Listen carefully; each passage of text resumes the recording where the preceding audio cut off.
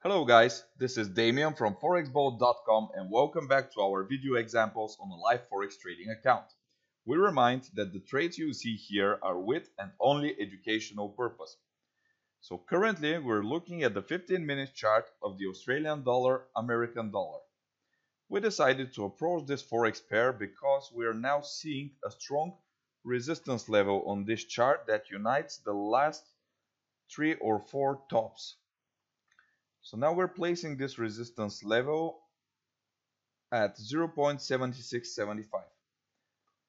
So we have the first stop over here, second, third, fourth, and so on. At the same time, the bottoms of the price action are ascending, which means that the bottoms are increasing. For this reason, we're going to use this yellow bullish line over here to connect the last three bottoms on the chart. It appears that the price action is consolidating and it is probably forming an ascending triangle where the bottoms of the pattern are increasing. Since the price is currently bouncing from the 0.7675 resistance level, we assume that we are currently seeing a run toward the yellow bullish line that unites the last three bottoms on the chart. At the same time, we have a strong reversal candle pattern which came after the last bullish impulse on the chart. This is the doji reversal candle pattern.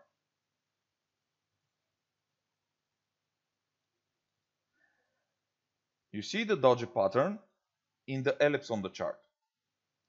As you see, after the price action interacts with the 0.7675 level, it closes a doji candle after a bullish trend, which suggests that the price action is probably reversing.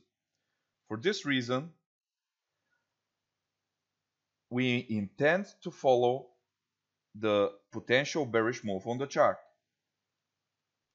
Therefore, we are now going to open a short trade selling 0.5 lots. We just sold the market and now we're short on the Australian dollar, American dollar. At the same time, we're going to use the 0.7675 resistance level to position our take profit order on the chart.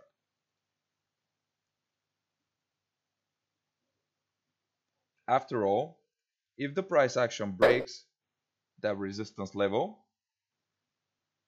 the chance that it will continue with the increase is very small. So now let's put the stop loss order at 0.7677.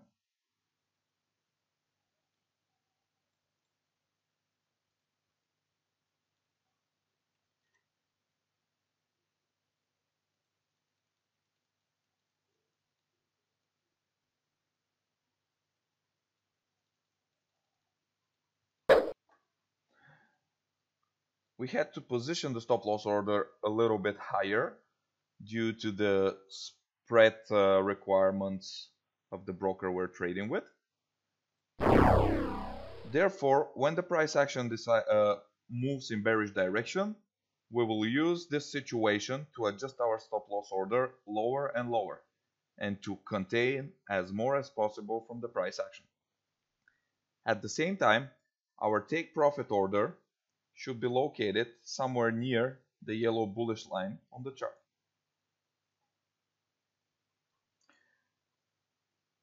That could be somewhere near 0.7660.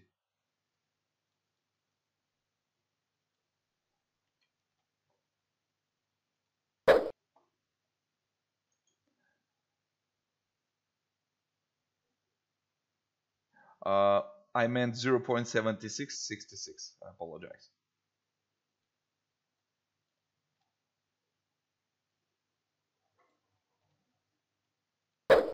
Okay. Now we have our short order, our stop loss order, and our take profit order. Our trade is secured, which means that we need to wait and to see if the price action is really going to accomplish the target we just set on the chart. In the meantime, let's mark the levels we used as our entry points, stop loss order and take profit order.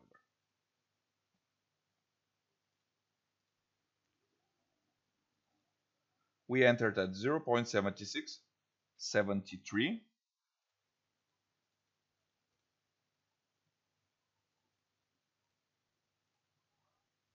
placing a stop loss order at 0.7682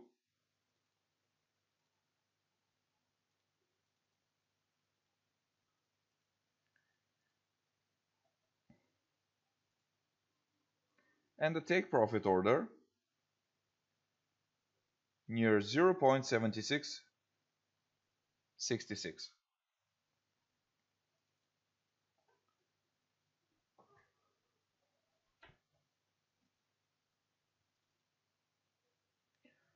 the 15 minute chart we see our doji candle again.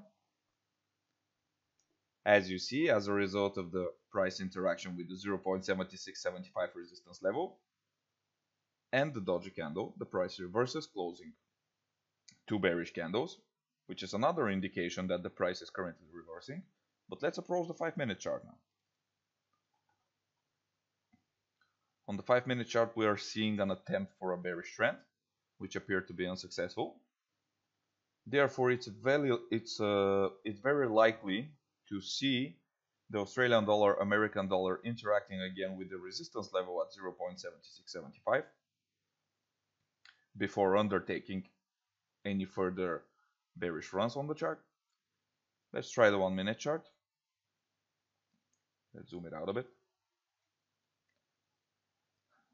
This circle represents the candles that are united to build our 15 minute doji candle over here.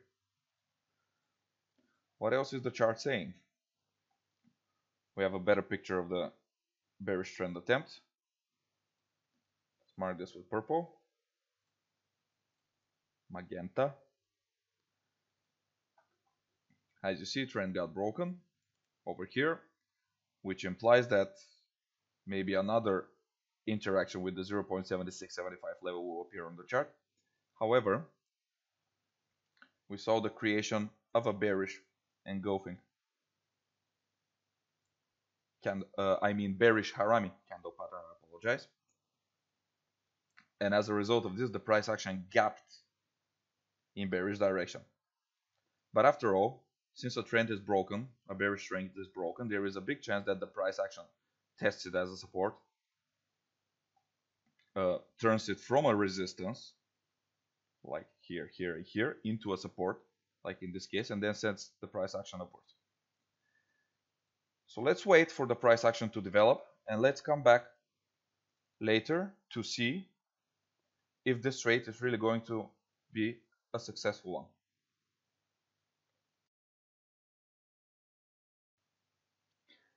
Okay, we're back 10 minutes later to see that the price action of the Australian dollar, American dollar uh, has decreased drastically, approaching our take profit order near 0.7666 and we decided to come back in order to see the moment when the price action interacts with our take profit order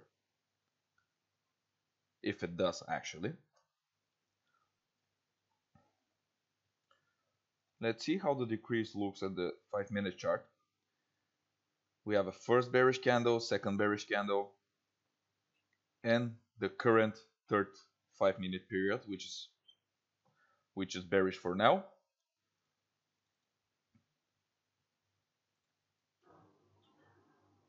On the 1 minute chart, we see seven bearish candles in a row followed by a bullish correction, a candle which resembles a shooting star, followed by a, a new bearish impulse. And we are currently seeing that the price action attempts to increase. However, having in mind the the current bearish attitude of the Australian dollar and the American dollar and the bounce from the 0.7675 resistance, we assume that the Australian dollar, American dollar will actually try to intersect with the yellow bullish line on the chart.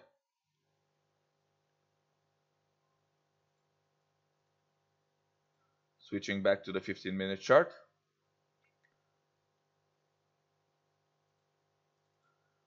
Okay, let's pause the video for a few more minutes and come back to you to see if the price action is really going to reach our target at 0.7666. Okay, we're back five more minutes later to see that the price action got even closer to our take profit order and nearly hit it on like 0.2 pips distance from our take profit level which stays at 0.7666 as a result we see that the the price of the Aussie which is the Australian dollar American dollar bounces in bullish direction. But uh, this is likely to be a short event since the price action has formed something like a falling wedge chart pattern which it is currently completing.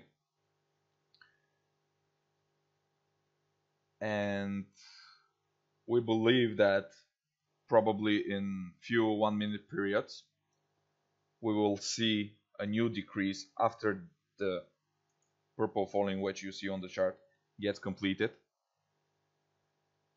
meaning that the price action passes a bullish distance equal to the size of the rising wedge. This is the size of the wedge. We see that the bullish distance is completed. So the pattern is finished and maybe it is time to see a new bearish run on the chart toward our take profit order at 0.7666. Switching back to the 15 minute chart. Okay, let's do another pause and come back in, in 5 minutes to see how is the price action developing. And 20 minutes later, we're back again to see that the price action does uh, creates another, is currently creating another attempt uh, for a bearish impulse toward the yellow bullish line and it is currently close to only one pip away from our target at 0.7666 we came back to remind you that now we can adjust our stop loss order higher since the price action moved downward. And this way we will uh, we will contain the price action in a better way also we would like to uh, to say something about uh, a thing uh, that one of our um, uh, group members at ForexBoat said about adjusting the stop loss order below the entry target, uh, the entry point on the chart. This is a very, very smart and successful strategy. However, if you're a scalp trader, in most of the cases it's not working. As you see, we attempt to move our stop loss order under our entry point in order to lock in guaranteed profit and to break even instantly. However, this is not working since uh, we have uh, spread requirements from the broker we are using. Therefore, sometimes uh, this approach uh, is not something that could be implemented since you're physically unable to move your stop loss order below your entry point, locking in guaranteed profit. Nevertheless, our stop loss order is now uh, in the area where we wanted it initially which is uh, the 0.7676 level which makes that uh, which means that if the trade is unsuccessful we'll be losing something like only 3 pips which is not that bad. 3 pips equals something like 0.05% loss from the amount we we invested in this trade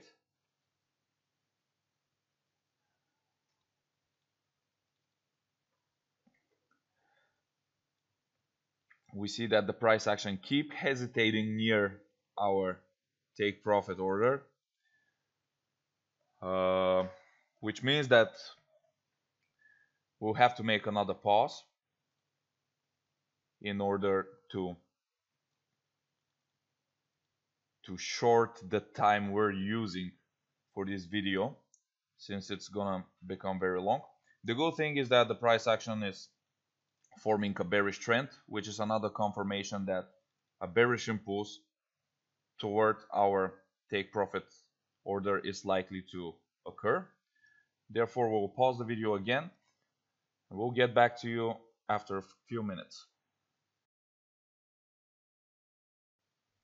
Okay guys, we're back five minutes later to see that the price action has bounced from the purple bearish trend line we set on the chart as a result, a bearish impulse, relatively sharp by the way, uh, was um, created on the chart right over here.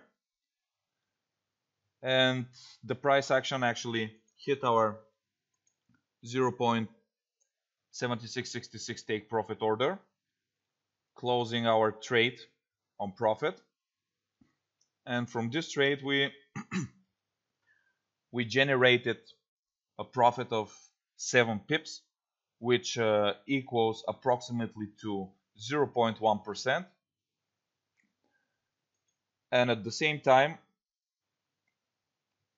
the trade took us like uh, like an hour and a half which is a relatively short period of time. So thank you very much for watching this was Damyan from forexboat.com. Looking forward to see you on the next live forex trading session. And until then, I wish you happy trading.